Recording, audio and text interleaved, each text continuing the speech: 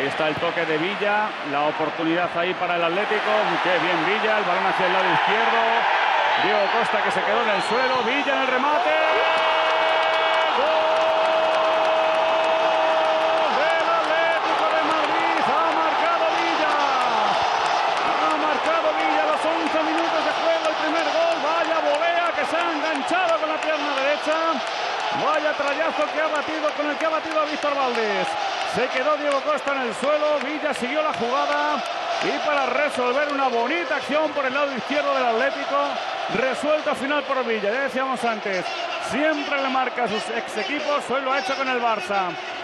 Ahí está el primer balón robado a la jugada sensacional, Chapi.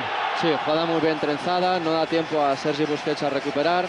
Luego hay superioridad por fuera y el centro muy bueno. La verdad es que. Centro de Arda. Y el remate es Vaya espectacular, remate porque- que se ha marcado Villa, Quique. La jugada ha sido preciosa, han tenido una buena rigidez defensiva para recuperar la pelota. Y luego esto el Atlético de Madrid lo tiene. Cuando recupera la pelota, sabe dónde la recupera y tiene tal calidad de medio campo para adelante que siempre asegura los siguientes pases, de forma que el equipo llega, llega a portería contraria.